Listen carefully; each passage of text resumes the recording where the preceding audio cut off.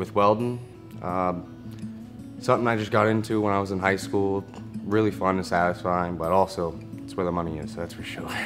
So I started uh, on Instagram and I saw an ad for Beal and I was already a part of EMCC and I wanted to get a part of welding and they told me I have to wait like an extra year. And I was like, I, I don't want to do that. I'd rather just hop right on. And then I saw the program on TV and then called you guys and was just like it was meant to be. I like my instructors and what they had to go and show for and the work that they showed, how much money they made in the future, you know, if you stick to it, how much you can really achieve doing this. I wasn't expecting it to be happen this quickly. I mean, look at me, I'm graduating already, which is crazy. I started eight months ago and it happens, flies by like this and it's fun, that's for sure. And I definitely recommend it to anyone around here.